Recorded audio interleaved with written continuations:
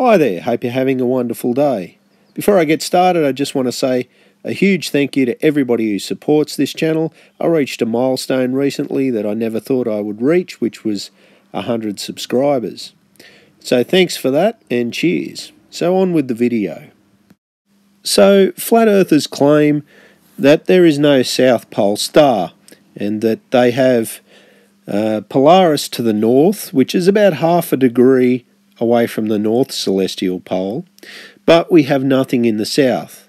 So I decided to get myself some evidence. So I went out with uh, my D3400 and I shot some star trails. And for those interested, it was shot with a zoom of 18 millimeters at f8 with ISO 400 sensitivity with about a 10 minute exposure. I think it said it was 716 seconds. And with a 10 minute exposure, you will get to see the stars actually run those streaks across the image, uh, showing that uh, there is some sort of movement there, which is generally accepted to be the rotation of the Earth that we stand on. So when this image was taken, the camera was pointed towards the general vicinity of the South Celestial Pole. And if you look towards the bottom middle of the screen, the star trails appear to get shorter and shorter.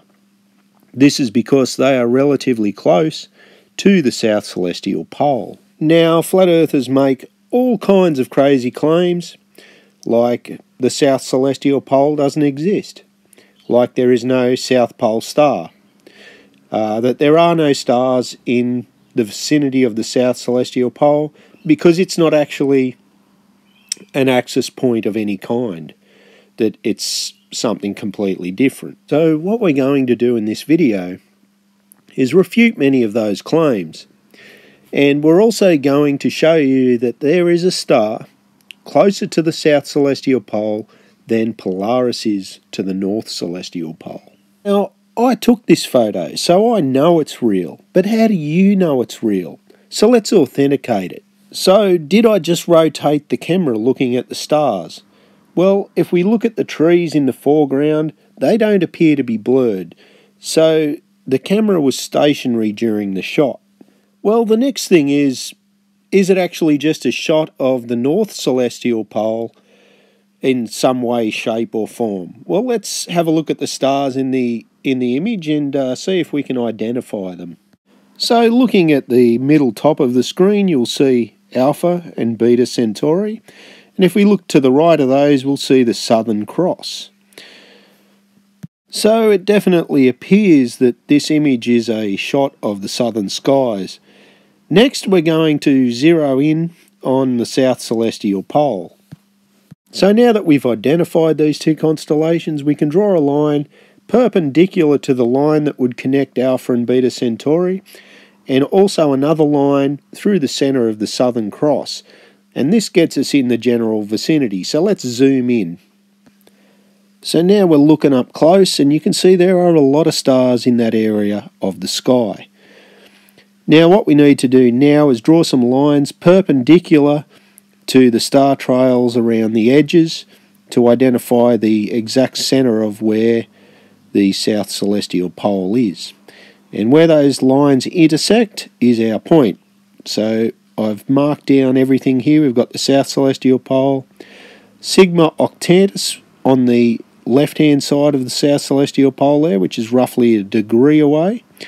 And then we've got another star called HIP 71348. Now, looking at HIP 71348, it is a mere nine minutes away from the South Celestial Pole. It is less than one sixth of a degree away from the south celestial pole. Now, Sigma Octantis is just over one degree away from the south celestial pole, and I've heard it called names like uh, Polaris Australis uh, and the Pole Star and things like that. But I've also seen on a chart HIP 71348 actually called the Pole Star.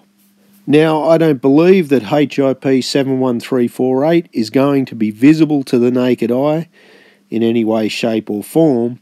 It is closer to the south celestial pole than Polaris is to the north, And in fact, if you look there, there are several stars in the vicinity of the South Celestial Pole that would be easily closer than Polaris is to the North Celestial Pole. Now, this isn't a competition. I'm sure that there are stars closer to the North Celestial Pole than Polaris that aren't perceptible to the naked eye. I'm just merely stating the facts. Now, my goal in this video is not to embarrass anybody or point the finger at anybody. I just want to correct some misinformation that's out there that flat earthers are claiming. So in this video you should be able to see that yes, the South Celestial Pole does exist and it is no less valid than the North Celestial Pole. Also, there are a lot of stars in the vicinity of the South Celestial Pole, as you can see. There are several that are closer than one degree, and there are a number that are even closer than Polaris is to the North Celestial Pole. So, in a future video, I would like to show a time lapse of the stars rotating around the South Celestial Pole. I still have my intervalometer to finish so I can control the camera. Uh, I'm not far off finishing it though. I'll probably get it over the next few days.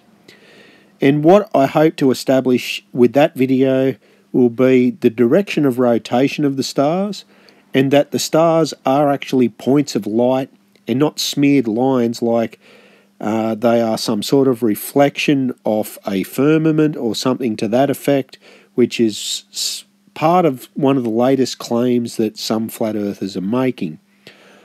One other thing, I had a little issue with lens fogging the other night, so I will be constructing a lens heater as well in the near future. I hope you found this video interesting and informative. Uh, don't hesitate to subscribe, like, leave a comment. Have a great day. I'll catch you later.